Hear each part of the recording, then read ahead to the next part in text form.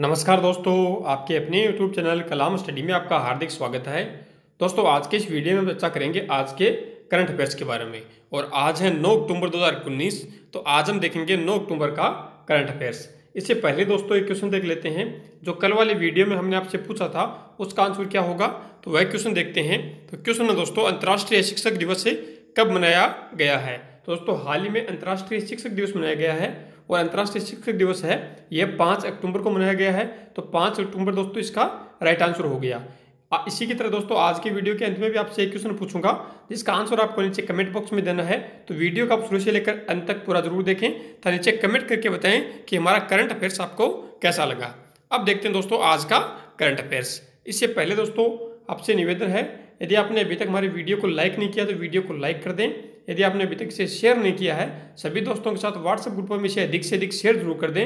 यदि आपने अभी तक चैनल को सब्सक्राइब नहीं किया है तो दोस्तों नीचे दिए गए लाल सब्सक्राइब के बटन को दबाकर चैनल को सब्सक्राइब ज़रूर कर लें। तो उसके पास जो बेल आइकॉन घंटे का सान है, उस घंटे के सान को भी आप ज़रूर दबा दें, जिससे हमारे आगे आने वाले सभी वीडियो की जानकारी तुरंत वीडियो डालते ही आप तक पहुँच सके। तो अब शुरू करते हैं दोस्तों आज का करंट अफेयर्स तो आज का जो पहला क्वेश्चन है, वह है इंडो मंगोलियाई संयुक्त सैन्य प्रशिक्षण अभ्यास, नोमेडिक एलिफेंट दो हज़ार उन्नीस का कौन सा संस्करण हाल ही में शुरू हुआ है? तो इंडो मंगोलिया संयुक्त सैन्य अभ्यास प्रशिक्षण का जो दो का संस्करण शुरू हुआ है, वह दोस्तों चौदवा सेमेस्टर शुरू हुआ है। तो चौदवा इसका राइट आंसर हो गया। अब इस जो सैन्य प्रशिक्षण है, इसके बारे में जानते हैं, इसमें क्या विशेष रहेगा? तो ये सैन्य प्रशिक्षण में प्रशिक्षण करते हुए सैनिक आपको दिखाई दे रहे हैं। तो दोस्तों इसमें जो इंडो मंगोलिया संयुक्त सैन्य प्रशिक्षण अभ्यास नोमेटिक एलिफेंट इसका नाम है। इसका चौदवा संस्करण शुरू हो गया है जो मंगोलिया सेना का प्रतिनिधित्व है। वह elite zero eight four airborne special task battalion के अधिकारियों और सैनिकों के द्वारा किया जा रहा है।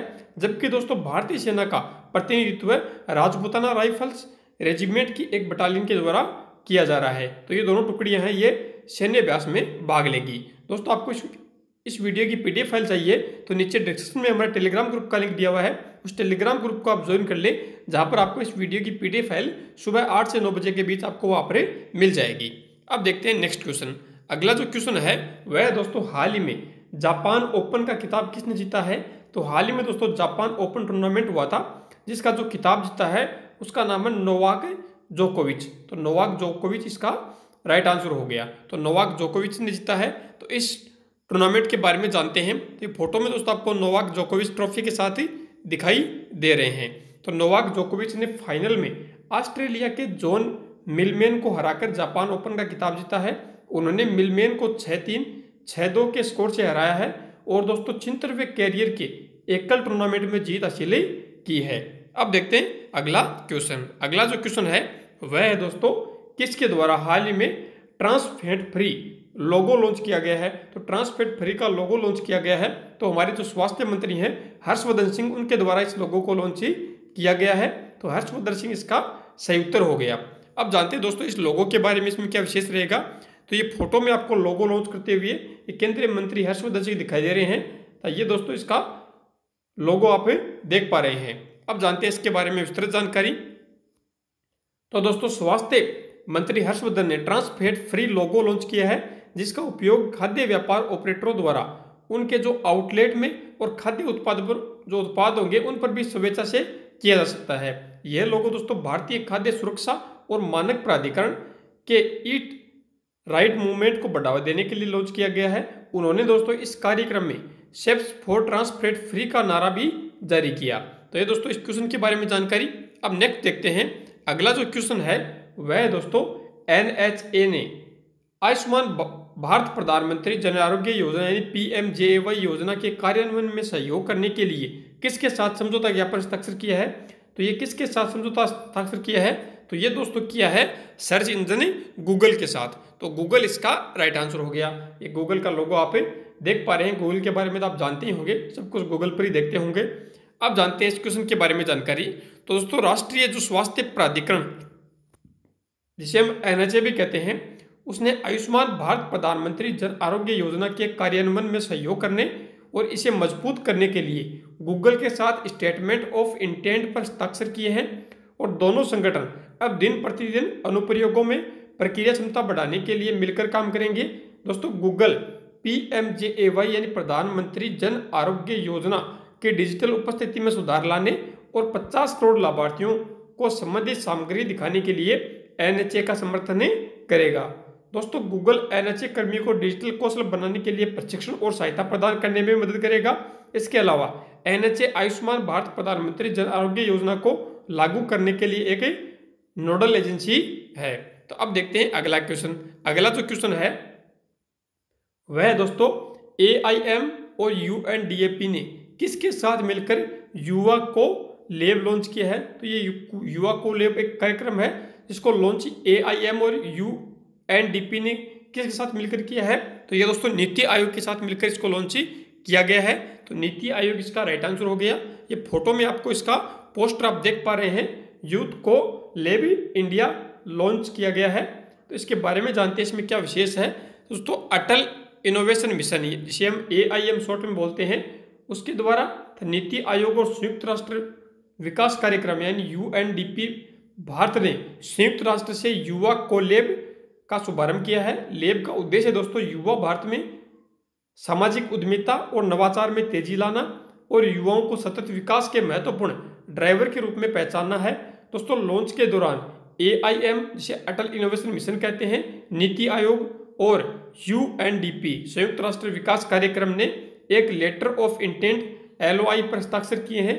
दोस्तों, युवा को लेब के माध्यम से युवा उद्यमियों, नवे, जो नवे नवेश को सरकारों, आकाओं इनक्यूबेटरों और निवेशों से जुड़ने का मौका मिलेगा। उन्हें दोस्तों 2020 में यूएनडीपी के क्षेत्रीय केंद्र में अपने विचारों को पेश करने का अवसर भी मिलेगा। तो ये जानकारी इस क्वेश्चन के बारे में होगी। अब अगला प्रश्न देखते हैं। अगला जो क्वेश्चन है, वह है दोस्तों, गुरुग्राम में आयोजित हीरो महिला, इंडियन ओपन का खिताब किसने जीता है?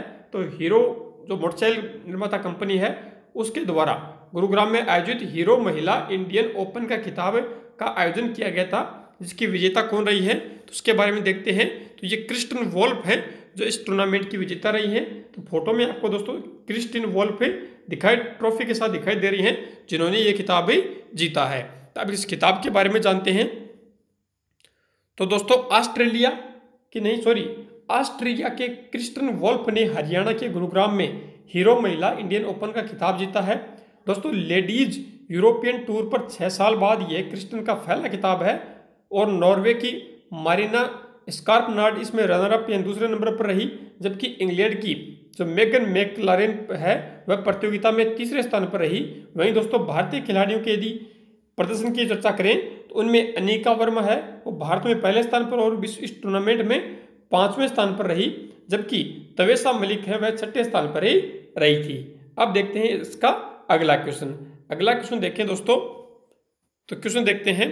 क्वेश्चन है, बीजिंग में आयोजित चाइना ओपन का खिताब किसने जीता है? जो चीन है, चीन के बीजिंग में आयोजित चाइना ओपन का खिताब जीता है, ये दोस्तों नाओमी ओसाका ने जीता है। तो नाओमी ओसाका, इसका सही आंसर हो गया। तो ये फ़ोटो में ट्रॉफी के साथ में आपको बीजिंग में नोमी ओसाका दिखाई दे रही है। तो इनके बारे में जानते हैं। तो नोमी ओसाका दोस्तों जापान के हैं। इन्होंने चीन के बीजिंग में आयोजित चाइना ओपन का खिताब जीता है। दोस्तों उन्होंने विश्व के नंबर एक जो एरसेले बार्टी हैं, उनको तीन छः छः तीन छः दो से हराया है। ओसाका के लिए यह दो हज़ार उन्नीस का तीसरा और उनके छोटे से करियर का ये पांचवा किताब भी था। अब देखते हैं अगला प्रश्न। तो आज का जो अगला क्वेश्चन है, वह दोस्तों विश्व पर्यावास दिवस, यानी वर्ल्ड हैबिटेट डे। कब मनाया गया है? तो दोस्तों, हाल ही में विश्व पर्यावास दिवस मनाया गया है। तो ये दोस्तों, सात अक्टूबर को मनाया गया है। तो इसके बारे में हम चर्चा करेंगे। तो इसकी पहले इसका पोस्टर देख लेते हैं। तो ये सात अक्टूबर वर्ल्ड हैबिटेट डे दो हज़ार उन्नीस आपको दिखाई दे रहा है। तो इसके बारे में देखते हैं। तो दोस्तों, विश्व पर्यावास दिवस की घोषणा कब की गई यानी इसकी शुरुआत कब की गई? इसकी घोषणा पहली बार संयुक्त राष्ट्र महासभा द्वारा दिसंबर उन्नीस में की गई थी और ये पहली बार उन्नीस सौ छियासी को मनाया गया था। कब मनाया गया? सात अक्टूबर को इस बार मनाया गया है। लेकिन ये दोस्तों, हर वर्ष अक्टूबर का जो पहला सोमवार होता है, उस पहले सोमवार को मनाया जाता है। तो इस बार सोमवार सात तारीख को आया है। तो अक्टूबर में यह सात तारीख को मनाया गया है। इसके बारे में देखते हैं। तो संयुक्त राष्ट्र द्वारा शहरों और नगरों की स्थिति सभी को पर्याप्त आश्रय के मूल अधिकार को दर्शाने के लिए हर साल अक्टूबर माह के पहले सोमवार को विश्व पर्यावास दिवस के रूप में आयोजित करने हेतु नामित किया है। वहीं दोस्तों, वर्ष 2019 में इसे 7 अक्टूबर को मनाया गया, जिसकी थीम, इस वर्ष की जो थीम थी, वह थी कचरे को धन में बदलने हेतु एक अभिनव उपकरण के रूप में सीमांत प्रौद्योगिकी यही दोस्तों इंग्लिश में लिखा हुआ है, आप देख लेना। अगला जो प्रश्न है, वह देखते हैं। तो अगला क्वेश्चन है हाल ही में किस देश के प्रधानमंत्री भारत यात्रा पर आए हैं? तो हाल ही में दोस्तों, जो बांग्लादेश के प्रधानमंत्री शेख हसीना है, वह हाल ही में भारत के दौरे पर आई थी। तो इनके बारे में देखते हैं। तो ये फ़ोटो में आपको भारतीय प्रधानमंत्री नरेंद्र मोदी और उनके साथ बांग्लादेश के प्रधानमंत्री शेख हसीना आपको दिखाई दे रही हैं। तो इनके बारे में चर्चा करते हैं। दोस्तों, बांग्लादेश के प्रधानमंत्री शेख हसीना की आधिकारिक भारत यात्रा के दौरान उन्होंने प्रधानमंत्री नरेंद्र मोदी के साथ मिलकर नई दिल्ली में वीडियो कॉन्फ्रेंसिंग के ज़रिए संयुक्त रूप से तीन परियोजनाओं की शुरुआत की थी, जिनमें पहली जो परियोजना थी, वह दोस्तों बांग्लादेश से एलपीजी के आयात से संबंधित परियोजना, यानी आयातित एलपीजी का भारत के पूर्वोत्तर राज्यों में वितरण किया जाएगा। वहीं दोस्तों दूसरी जो परियोजना है, वह बांग्लादेश की राजधानी ढाका में रामकृष्ण मिशन विवेकानंद भवन का निर्माण करेगी। बांग्लादेश की सरकार और वहाँ पर विवेकानंद भवन में सौ से अधिक छात्रों को रहने की व्यवस्था होगी। भारतीय छात्रों की रहने की व्यवस्था की जाएगी। अगला जो तीसरी योजना है, वह है बांग्लादेश भारत पेशेवर कौशल विकास संस्थान की स्थापना होगी। दोस्तों, यह बांग्लादेश के औद्योगिक विकास के लिए कुशल मानव संसाधन और टेक्नीशियन तैयार करेगा।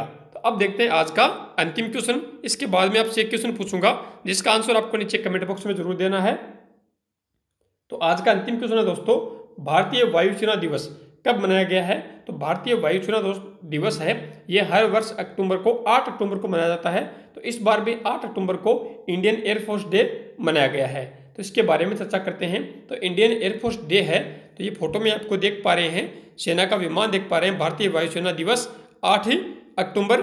अब इसके बारे में देखते हैं। दोस्तों, आज, यानी आठ अक्टूबर को वायुसेना दिवस है और भारतीय वायुसेना की स्थापना को आठ अक्टूबर को सत्यासी वर्ष पूरे हो गए हैं। इसकी स्थापना दोस्तों आठ अक्टूबर उन्नीस सौ बत्तीस को भारतीय वायुसेना की स्थापना की गई थी और इसी दिन को एयरफोर्स डे के तौर पर मनाया जाता है।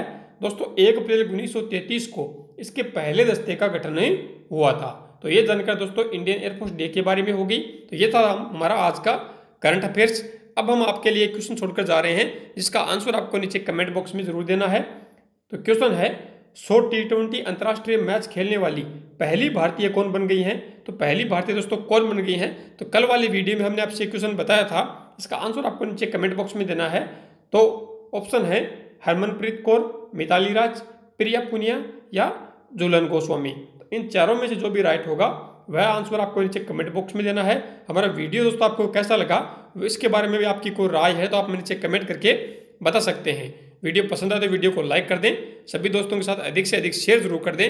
यदि आपने अभी तक हमारे चैनल कलाम स्टडी को सब्सक्राइब नहीं किया है तो नीचे दिए गए तो लाल सब्सक्राइब के बटन को दबाकर चैनल को सब्सक्राइब ज़रूर कर लें। तो उसके पास जो बेल आइकॉन घंटे का सान है, उस घंटे के सान को भी आप ज़रूर दबा दें, जिससे हमारे आगे आने वाले सभी वीडियो की जानकारी आप तक पहुँच सके। धन्यवाद दोस्तों।